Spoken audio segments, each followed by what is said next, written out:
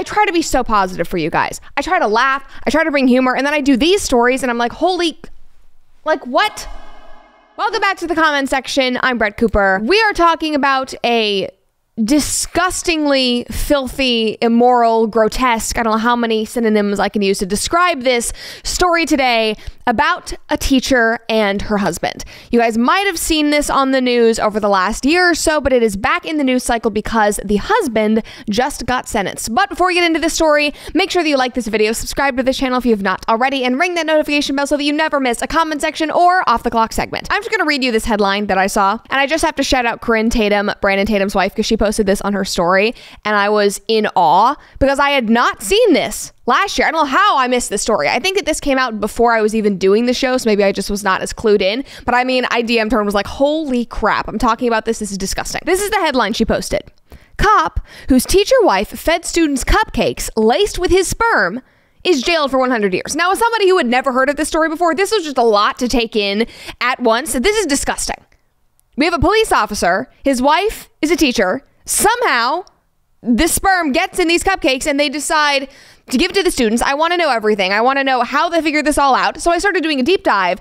It is more horrific than I could have ever imagined. I mean, these people are literally sick. Now, like I said, this really blew up last year. I think it was in February that they found out about the semen debacle, but they had already been arrested. Their names are Dennis and Cynthia Perkins, and they literally fed her middle school English students semen cupcakes. Here they are. They look like a normal couple. She's pretty. He looks normal. Again, this is like very unassuming. But that is not all they did. Somebody commented under one of the articles and said, This is crazy and all, but how do the students know what nut tastes like? Or did they randomly test the cupcakes for nut? Confusing as literally my first thought is like how did they know uh, and then somebody replied and said the actions were filmed and discovered with other child pornography when they were busted for raping a minor like, that's not funny at all. Like, that is disgusting. God, every day I lose hope. I try to be so positive for you guys. I try to laugh, I try to bring humor, and then I do these stories and I'm like, holy, like, what? There is no way in hell I am not homeschooling my children. No way. This all started back in 2019 when the couple was first arrested after the authorities got a tip from the National Center for Missing and Exploited Children. Their home was raided, and the authorities found pictures of them nude with children and cameras with child rape on them. Up in their attic, it was all hidden. It was disgusting. Here's an article from that time. This was December 17th, 2019. Ex teacher, husband indicted on 150 counts after child sex abuse probe. Now, in court, Cynthia, the teacher, she admitted to giving her students the sperm cupcakes. That was not anything that they like found evidence of in their house. They had just seen the pictures of them nude with children. And in court, she said, Okay, I also did this. I am pleading guilty. And she testified against her husband on many of these charges, claiming that she had been manipulated by him. So, as a part of this plea deal, 68 of her 72 charges were dropped. She also filed for divorce immediately after being arrested. So, she only got 41 years.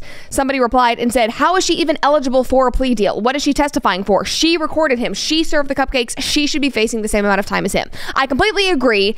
I'm glad that we have more information about her husband and the types of things that he did, but just saying that she wasn't involved, like, no, you were. You gave those to your students. You took pictures with those children. You also raped a child with him just standing on the sidelines and kind of like helping, that doesn't make it any better. So, like I said, she got 41 years earlier this year. I think it was back in May or so. But his trial only just now ended and he was given 100 years, no possibility for parole or probation or anything like that. He was charged with rape, two counts of child battery under the age of 13, video voyeurism, and multiple counts of child pornography. I mean, it is sickening.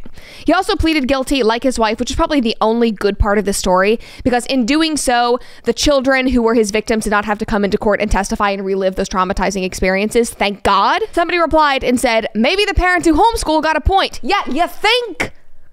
After all we have talked about, after everything you have seen from COVID to now, everything that is being exposed in classrooms, you still think that you can blindly send kids into schools and think that they're going to be okay. Now, obviously, there are still families that believe that that is the best option. There are some families that that is the only option for them, whether it's lifestyle, financially, whatever. If that is the case, that is okay. I'm not shaming you. You just have to be so vigilant and so aware and so engaged in your child's education with the adults that they are around. You cannot trust anybody. And that is so sad. Like I, I, was seeing something on Alex Clark's story the other day, and she was doing a poll with parents of like, would you allow your children to be alone at somebody's house for this amount of time? Would you let them go to a park? How is this different than the way that you were raised? And like overwhelmingly, people had no trust, which is also very sad because, you know, you want to raise children that are independent, they're able to do things by themselves. But like in this world where you cannot trust the adults that are supposed to be protecting your children all day long, it's like, what other option do you have? It's sad, but that's the reality of the world we live in, and you kind of have to strike a balance, but it's just interesting. Libs of TikTok also posted this yesterday, which I think just drives this entire point home in a really sad and sick way. But she said, We have a serious groomer teacher problem in this country, that is putting it mildly. Chicago schools watchdog finds hundreds of employees groomed, sexually assaulted students. One Chicago school administrator took a student to a play and took her on trips to Vegas, Los Angeles, and abroad, the report said. Now, strangely, the comments under this post were not outraged. The majority of these comments were claiming that this could have never happened and they won't read anything written by Fox and things like this. Like, look at your priests first. And we also talk about the number of pastors and GOP politicians that fall under the same category. Somebody replied to that and said, Could we talk about the people around kids full time first?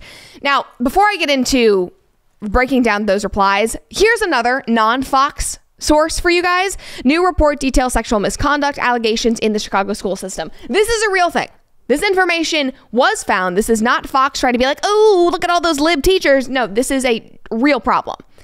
It should not be a left or right issue. The sexualization of children is a cultural problem across the board, and we should be able to condemn it no matter what political party the offender identifies in. We are so far gone that people see stories about children being groomed and sexually exploited, and they immediately get defensive because somebody they don't like is posting about it. If you are so upset about one side of the political aisle being the one having this conversation and their publications are writing about it, then maybe hold your own people accountable.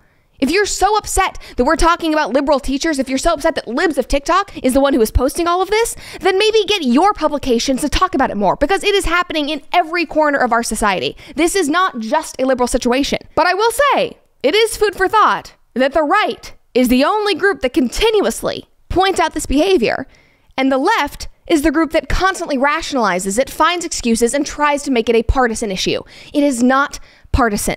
There is an entire generation of children who are being groomed and exploited and are growing up in a society that sexualizes them and does not protect them. That is something that we should, across the board, be able to fight against.